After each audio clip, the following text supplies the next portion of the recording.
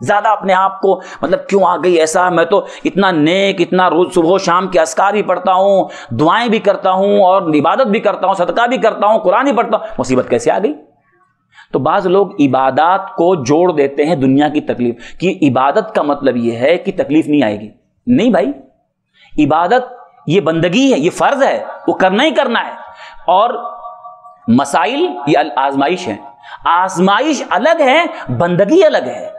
آزمائش آنا ہوگا، آئے گی، نہیں آنا ہوگا، نہیں آئے گی، بندگی ہر حال میں کرنا ہے۔ اس کو یاد رکھیں، کبھی اس شرط پر عبادت نہ کریں کہ ہم اس لیے کر رہے ہیں تاکہ مصیبتوں سے بچنا وہ اللہ تعالیٰ بچائے گا، ٹھیک ہے، لیکن یہ ایسا نہیں سوچنا چاہیے کہ مطلب اگر میں بہت دیندار ہوں تو مصیبت نہیں آئے گی۔ بھائی، انبیاء ہیں، نبیوں کو آپ دیکھیں۔ ہاں کتنی تکلیفیں آئیں۔ تو دنیا میں ایک آدمی کا سکون برباد ہو جاتا ہے۔ سوچتا ہوں میں اتنی عبادت کرتا ہوں، تکلیف کیوں آئی؟ پریشانی کیوں آئی؟ نہیں۔ یہ آزمائش ہے۔ اللہ نے لکھا تھا تو آئیے۔ اب اللہ تعالیٰ سے اس سے نکلنے کے لیے دعا کریں۔ وہ صلی اللہ علیہ نبی نے فرمایا کہ اللہ تعالیٰ سے آفیت کا سوال کرو۔ آفیت کا سوال کرو۔ اور ایک تو اللہ سے مانگیں۔ دوسری چیز یہ کہ آدمی کے اوپر جب کوئی مصیبت آ جائے، پریشانی آ جائے، تو بجائے اپنے دل کو جو ہے گندا کرنے اور اللہ کے بارے میں بدزن ہونے کے بجائے، دین پہ غصہ اتارنے کے بجائے، آدمی اللہ تعالیٰ کی پچھلی کسی مدد کو یاد کرے۔ ہر آدمی کی زندگی میں کوئی نہ کوئی ایسی مصیبت آئی رہتی ہے کہ اللہ تعالیٰ نے اس کو حل کیے رہتا ہے پہلے۔ چاہے وہ معاشی مسائل ہو، چاہے بیماری کی مسائل ہو، کہ زندگی میں آپ سوچیں، ہر آدمی کی زندگی میں کبھی ایسے مسائل آتے ہیں اور آدمی گھبرایا ہوا ہوتا ہے، لیکن اللہ تعالیٰ اس کو حل کر دیتا ہے۔ تو آدمی کے اوپر جب بھی مصیبت آئے، تو ایک تو اللہ سے دعا کریں عافیت کا، دوسرے یہ کہ پاسٹ میں، ماضی میں اللہ تعالیٰ کی کسی مدد کو یاد کریں۔ کہ دیکھو جب میں اس مصیبت میں پھنسا تھا تو اللہ ہی نے نکالا تھا مجھ کو۔ تو جو اللہ مجھے اس مصیبت سے نکالا تھا، آج وہی اللہ ہے، آج وہ بھی نکالے گا مجھے۔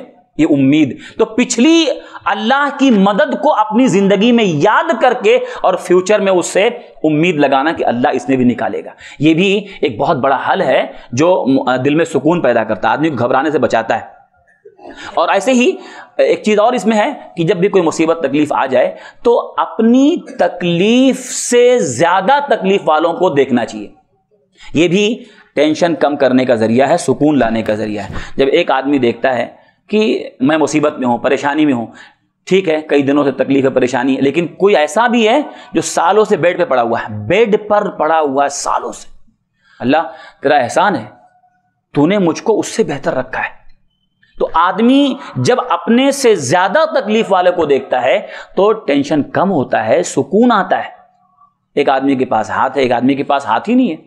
آدمی بغیر ہاتھ والے کو دیکھتا ہے اللہ تو نے مجھ کو ہاتھ دیا ہے۔